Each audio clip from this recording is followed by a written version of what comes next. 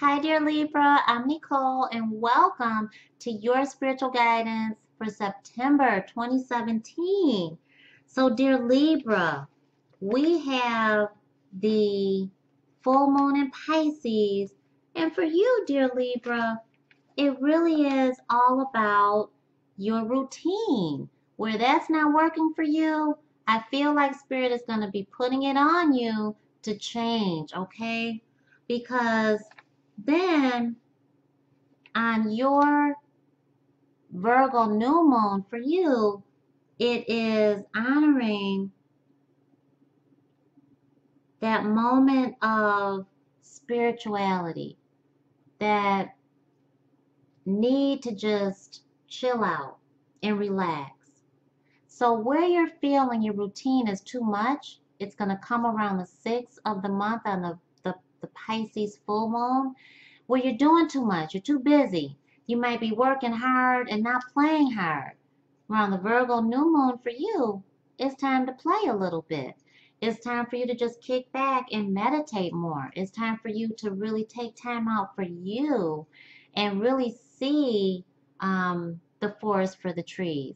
Whereas on the Pisces full moon for you, it really feels more like just go, go, go, work hard, work hard, work, work. Where's the play?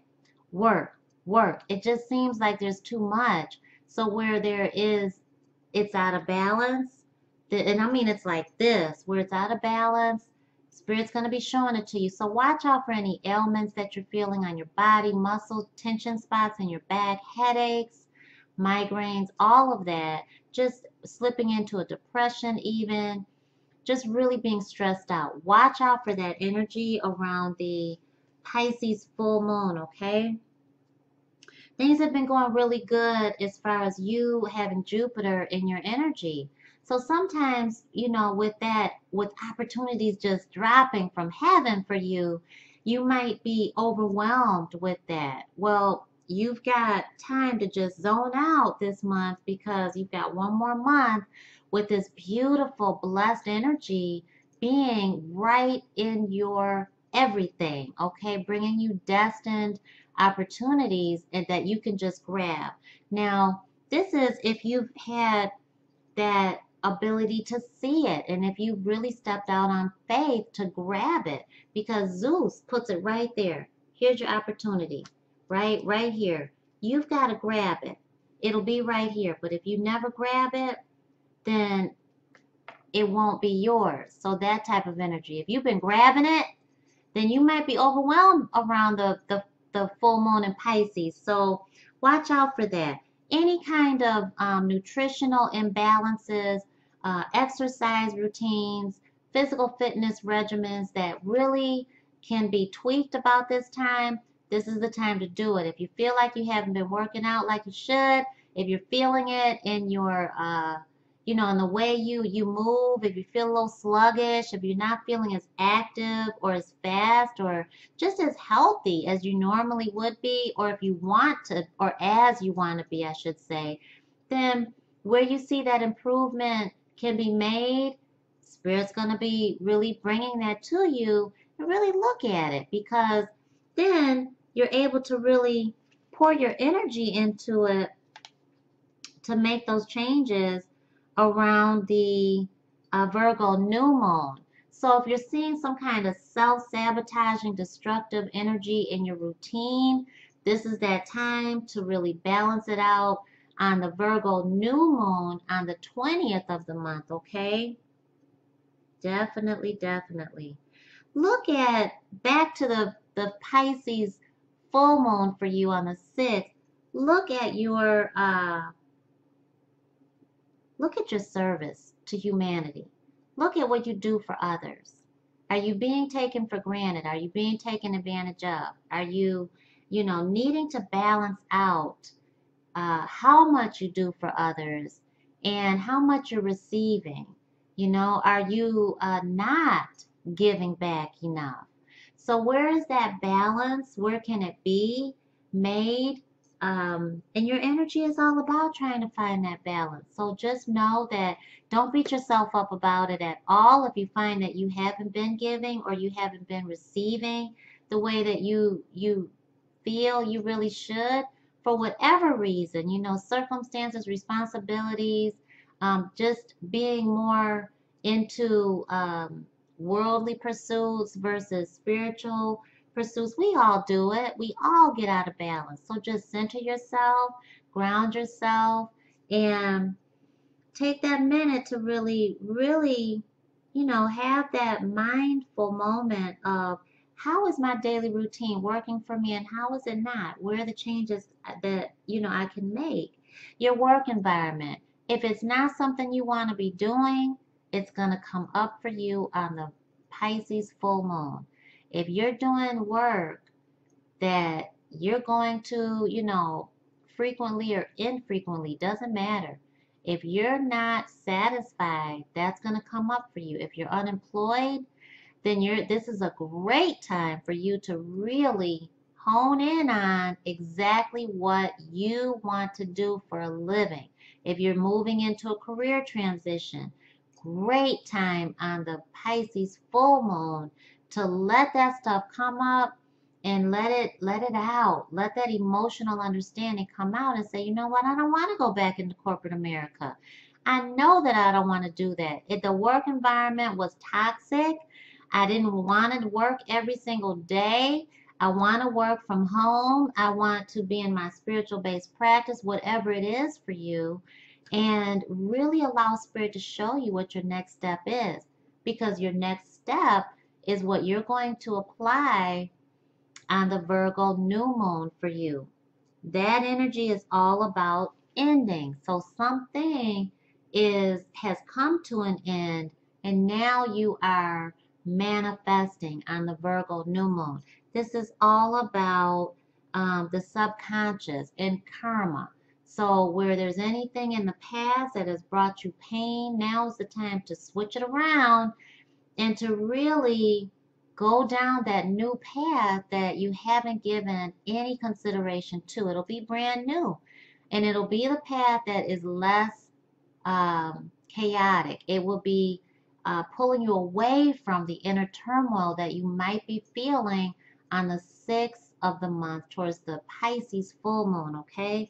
So this is also a great time to understand how to let go of any fears, self-destructive um, behavior, skeletons in the closet.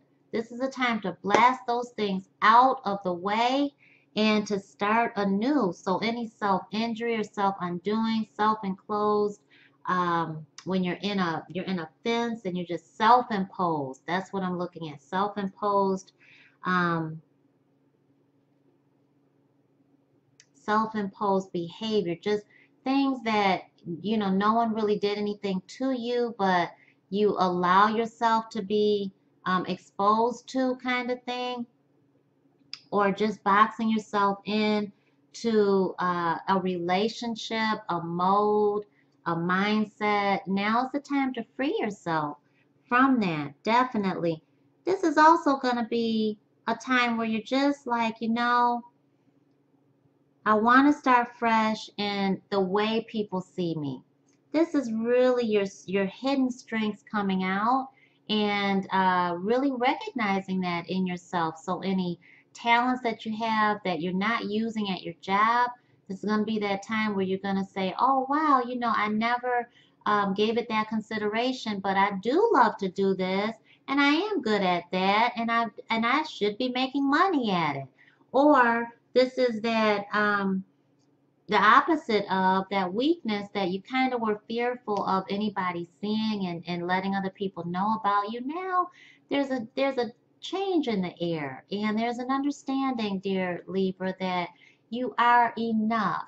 And so, you know, you, I feel like you've got this, you know, screw you attitude. You know, I'm, I'm okay with that side of me because I know that it'll become a strength. That's what I really feel.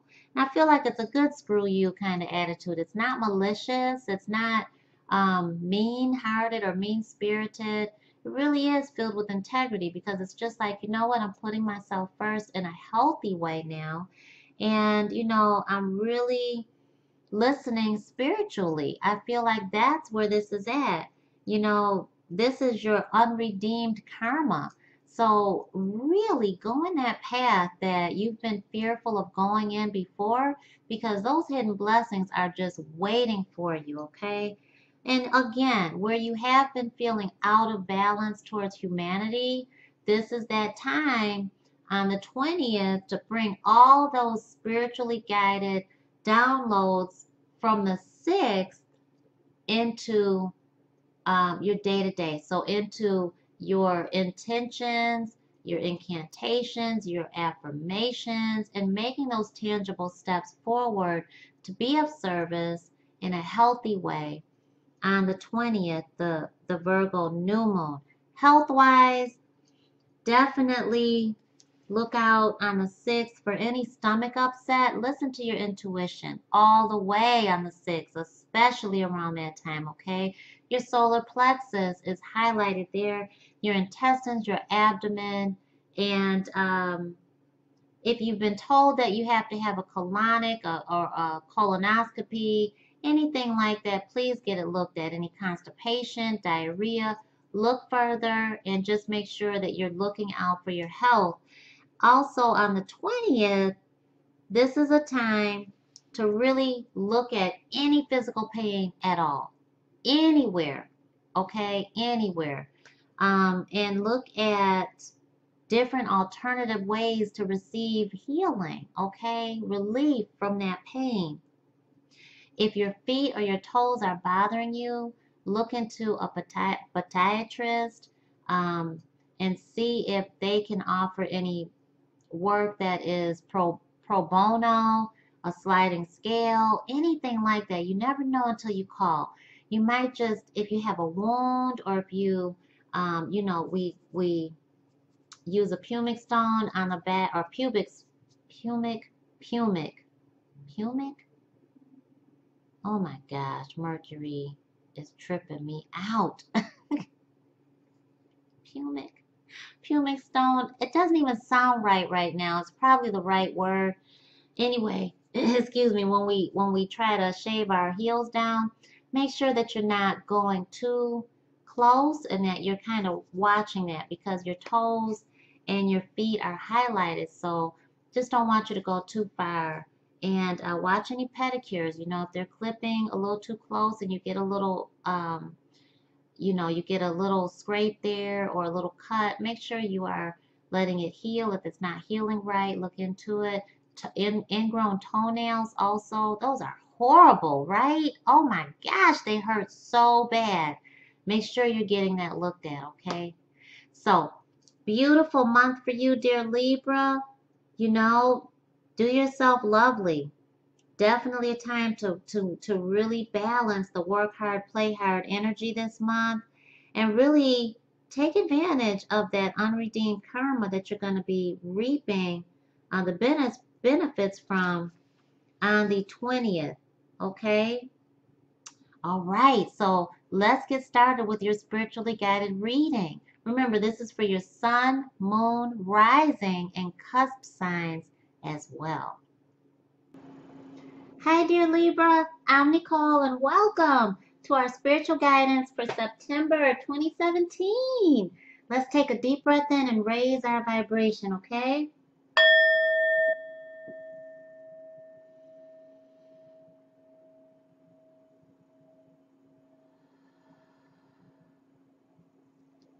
Feels so good to do that. Okay, let me make sure this is good. Okay. Let's call on Divine Source for your spiritual guidance. Thank you so much. Divine Source, thank you so much for that love. Thank you so much for that blessings. Thank you so much. Thank you, thank you, thank you. Whoa, you got three right off the top. And that's what we wanted. So this is quick. So, dear Libra, coming into September, there is a need, and I think this just came out. Who did this come out for? Make sure you're looking at your sun, moon, rising, and cusp signs, okay? Because if this is identical, if this is the identical spread that came out for any of your energies, that is extremely potent energy and that's very powerful. I want you to pay close attention to September. There is a situation going on with a child, uh, um, parental, parent-child relationship, rather and you could be the father. It could be about the father of your child. You could be seeking that connection with a possible father figure. But knowing that, and also it could be the fact that you have daughter father or son father issues that radiate back from childhood. And that's coming into the month of September because it's showing you to definitely love on yourself and get away from that that type of really stressful energy there. And to remember that as a caregiver because i feel like you are that parent um, that you deserve to be cared for too.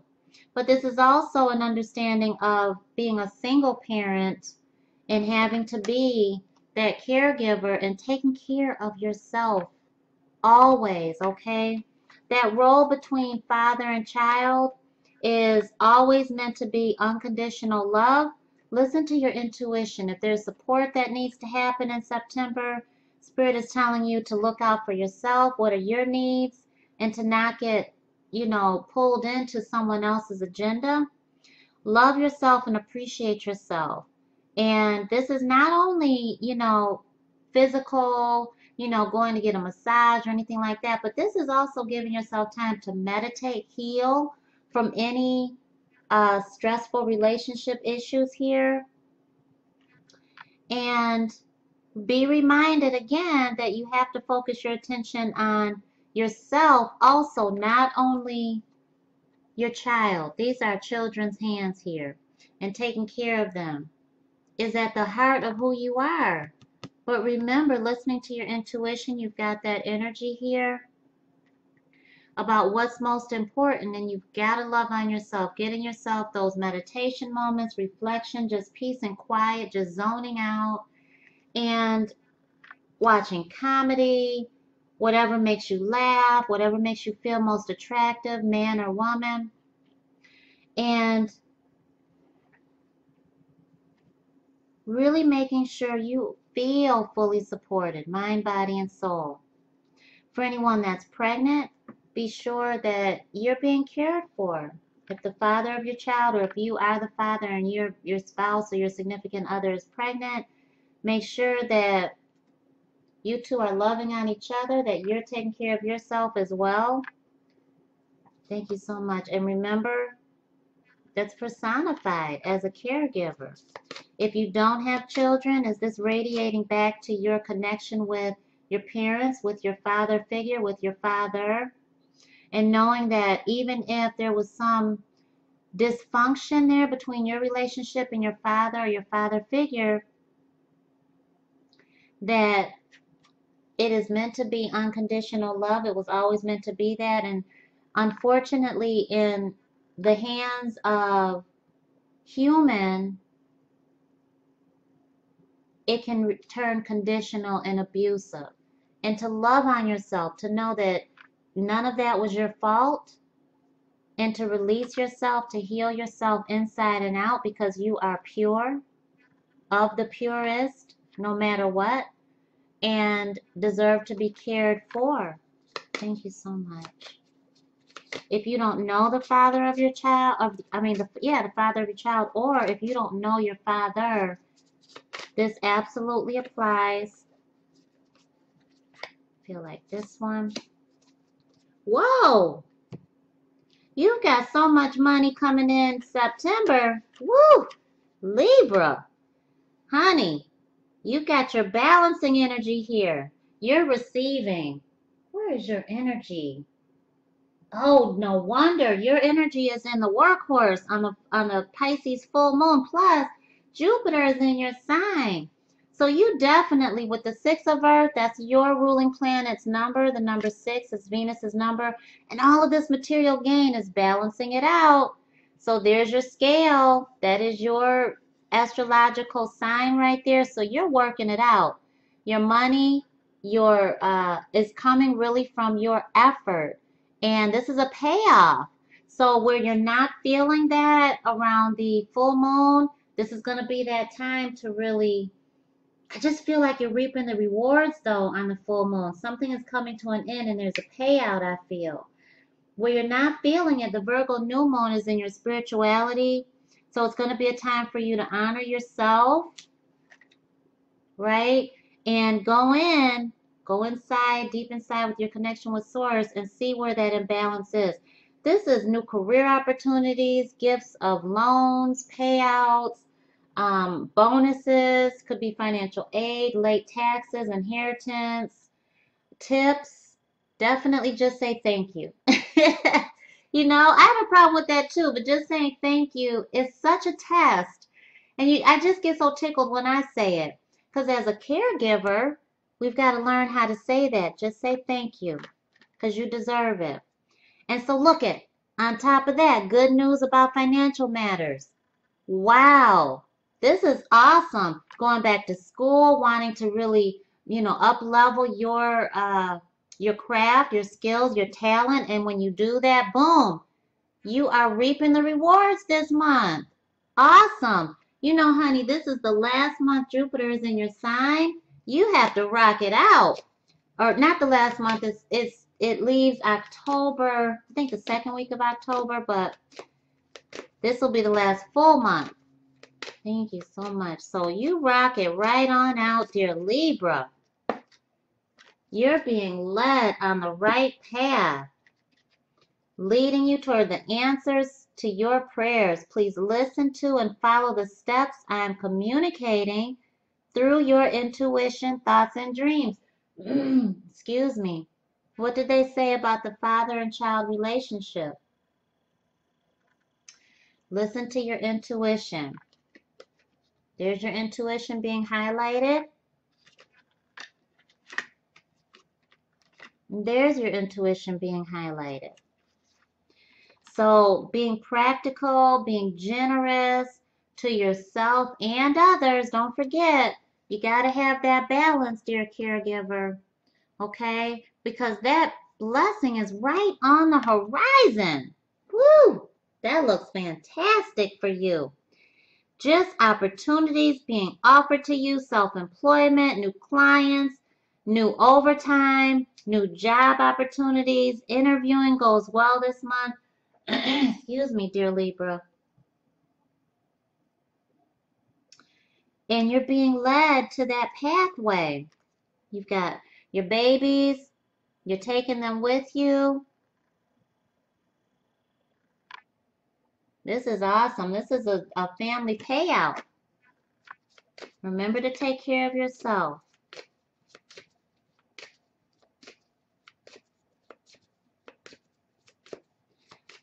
Some of you might be separating from the father of your children um, or you might be changing that dynamic of the relationship.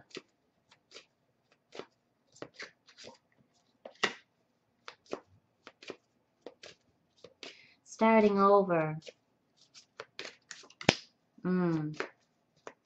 Okay. So there's some lies that some hurtful lies, the kind that really are mean that have happened for some of you. Mm. Okay. Oh, whoa. Okay. So, honey, you're not alone. Remember that you're not a one woman, one man island. There's some lies that have really hurt.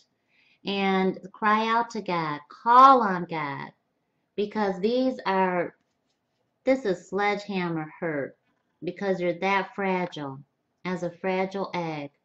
And so you're feeling the truth in the situation that's on your soul right now. And very vulnerable so love on yourself because this is abusive, volatile, angry energy. It's not healthy. And you're being guided to seek professional help, dear Libra, Begin healing through reconnecting your relationship with the Most High. Okay? If you're feeling like this, your spirit guides are around you and reminding you that they are your family and comfort during this difficult time.